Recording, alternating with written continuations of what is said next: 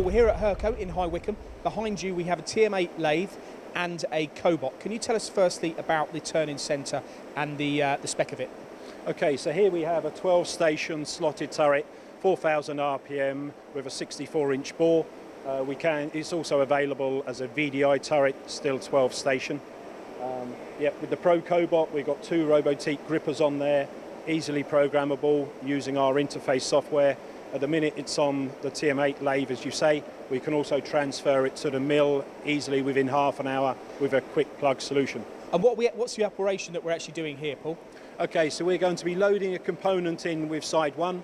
We're going to be then picking it up with a second claw gripper, turning it around 180 degrees, putting it, placing it back into the chuck, machining operation number two. We will then remove the part, place a second part in there, and carry on the operations. So what we're doing is we're turning a two-axis lathe into a sub-spindle machine, essentially, or getting the same work off of it. That's correct. Now the control, what's the uh, the integration between the control on this and the Hurco control on the machine? Is it seamless? It is seamless. Okay, we, we've got our own software now where we can tell in the pallet what job to call what program. So you can have multiple parts in there. We can move on to drawer systems, so the parts do not have to be the same.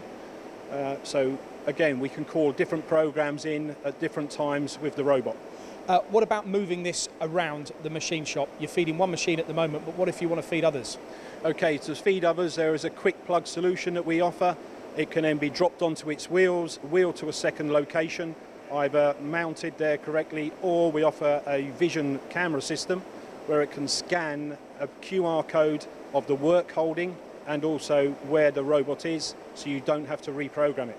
And if you had bigger components than what you've got there, payloads increase, different options?